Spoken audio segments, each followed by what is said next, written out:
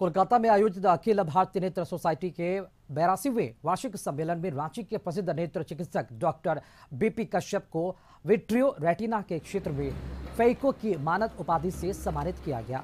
यह सम्मान उन्हें रामकृष्ण मिशन सेवा प्रतिष्ठान के सेक्रेटरी स्वामी नित्या कामानंदा के द्वारा दिया गया। बता दें कि यह मानद उपाधि देश के चुने गिने विट्रियो रेटिना सर्जन्स को उनके रेटिना के क्षेत्र में किए गए कामों के सम्मान के लिए दी जाती है।